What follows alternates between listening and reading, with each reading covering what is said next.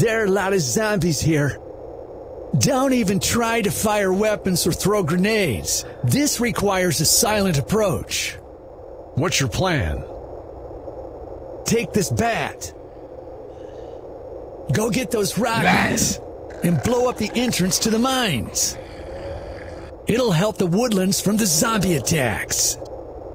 Sounds good. Will you cover me? Sure.